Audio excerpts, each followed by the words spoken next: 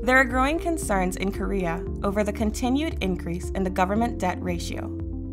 At the same time, there are also opinions claiming that an expansion is necessary in response to the sluggish economy due to the current ample fiscal space. Fiscal space refers to the gap between the current debt level and debt limit, which means the maximum increase in government debt that can be repaid with tax revenue. If the size of debt exceeds this level, a sovereign default may be triggered.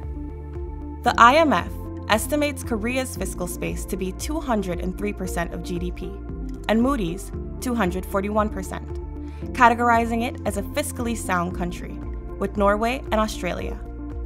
KDI estimated the current level of fiscal space and economic burden of a rapid debt expansion up to the fiscal space. The results of the analysis reveal that Korea's fiscal space is mainly obtained through hikes in the labor income tax and currently marks 225% of GDP. If government debt was to also increase by 225% of GDP, a rate hike of 25 percentage points in the labor income tax would be required.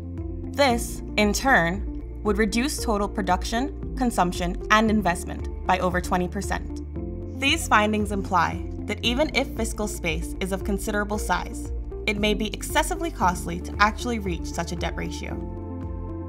Furthermore, fiscal space may contract on sluggish economic growth or increasing social security expenditure due to population aging.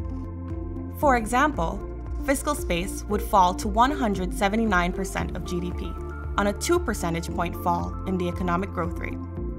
If government transfer payments increase 1.5 fold of the current level, fiscal space would decline to 60% of GDP.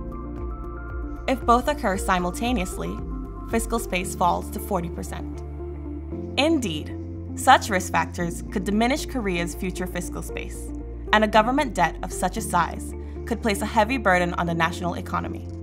So, the management of government debt should be continually examined. The primary operational deficit expanded from 2012 to 2015, then reduced in 2016, implying that government debt management has started to improve.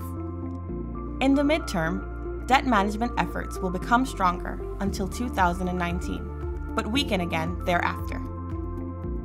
현 시점에서는 중장기적 재정 수요에 대응한 예산 집행은 계획대로 추진하되 현재의 재정 기조대로 부채 관리 노력은 지속하는 것이 바람직합니다.